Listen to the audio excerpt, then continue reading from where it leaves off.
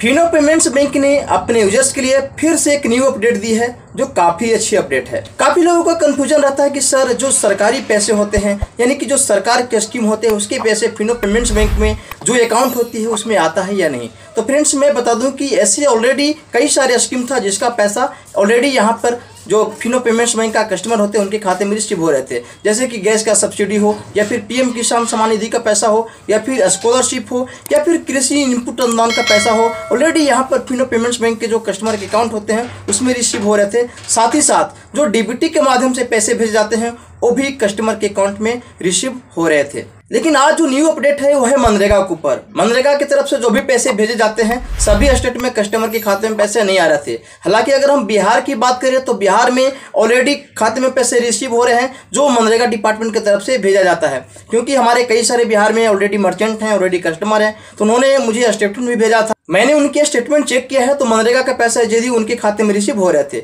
लेकिन ये जो अपडेट है, उत्तर प्रदेश के लिए है। क्योंकि उत्तर प्रदेश में मनरेगा का पैसा कस्टमर के खाते में रिसीव नहीं हो रहे थे, लेकिन यहाँ पर एक अच्छी अपडेट है। यहाँ पर फिनो पेमेंट्स बैंक ने एक अच्छी अपडेट दी है कि अब से उत्तर प्रदेश में भी मनरेगा का पैसा कस्टमर के खाते में रिसीव हो जाएँगे। एक्चुअली होता क्या है कि जो भी डिपार्टमेंट होती है, उनकी साइट में, उनकी सिस्टम में फिनो पेमेंट्स बैंक लिस्टेड नहीं होता है, जिससे कारण पैसे नहीं भेज पाते। तो अभी यहाँ पे Fino payments bank Uttar Pradesh की सरकार से मनरेगा का जो डिपार्टमेंट होती है, उससे मिलकर अपने बैंक को लिस्टेड करवा दी है। तो अब आने वाला समय में जो भी फिनो पेमेंट्स बैंक के कस्टमर होंगे, उनके खाते में जल्दी मनरेगा का पैसा रिसीव हो जाएगा। तो बस एक छोटी सी अपडेट थी। ये अपडेट आपको कैसी लगी कमेंट में ज़रूर बताइएगा। अगर आप फिनो पेमेंट्स बैंक की ग्राहक सेवा केंद्र, यानी कि सीएसपी आईडी लेना चाहते हैं तो मात्र आपको छह सौ निन्यानवे रुपए में मिल जाएगा। इसके लिए आपके पास एक आधार कार्ड होना चाहिए। पैन कार्ड होना चाहिए, मोबाइल नंबर और ईमेल आईडी होना चाहिए, साथ ही साथ आपकी एज कम से कम 18 साल होना चाहिए। ये सारी चीज़ें अगर आपके पास है तो वीडियो डिस्क्रिप्शन में आपको व्हाट्सएप नंबर मिल जाएगा, आप संपर्क करके आईडी